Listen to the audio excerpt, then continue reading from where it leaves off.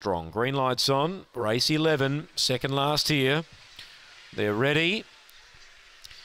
Racing, Turazigi hopped out pretty well. He's going to go close to leading. Deep out was Classic McLaren going forward, but Turazigi has got the pace. Classic McLaren now using its mid-race pace to go to a length lead. Third placing Ask Me Now. Back on the inside, Longvale, uh, Long Gully Evie. Second last is Oakvale Elite. Last is Corborn Sophie. Leader is Classic McLaren. Turazigi's a length away. Ducks back to the rail. Classic McLaren in front. Turazigi's going to it. It's got it.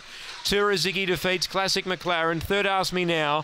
Fourth goes to Long Gully Evie. Next in Corborn Sophie and Oakvale Elite. Last in the time's good 29.69. It's a new PB. Turazigi, yep, once he was able to push forward and be that close, uh, even though Classic McLaren's strong, Turazigi's a bit stronger and uh, he was able to duck back to the inside and pick up Classic McLaren. It's one defeats eight. Two third Ask Me Now. And number